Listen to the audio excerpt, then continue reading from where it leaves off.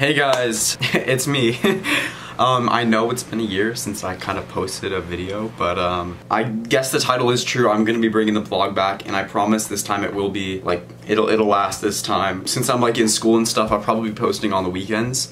Uh, basically, I'll probably be filming throughout the week and on Fridays, and I'll probably post Saturdays and Sundays just on the weekend since it's the only free time that I have. Basically, other than that, I pretty much have some new friends that are also vlogging. If you guys want to go subscribe to them, down below I'll put their link in the description. They make great content. I I hope I still have viewers and followers still on here. Let me know if you guys are still gonna watch the, my videos and stuff. I'm I just I'm, I'm sincerely sorry about not posting for a year, but the vlog is back, guys. The vlog is gonna be back and better. But um, other than that, maybe I'll make, might make a video. Let me know if you guys want to make make a video of maybe like what I've been doing the pa past year. I mean, I don't even know. I don't really have like an excuse for why I stopped. It's basically I just I guess I just got tired of making videos and I kind of just stopped and didn't have the motivation to make them. Since my friends started vlogging again, they're like, hey, you, you should start up your YouTube channel again.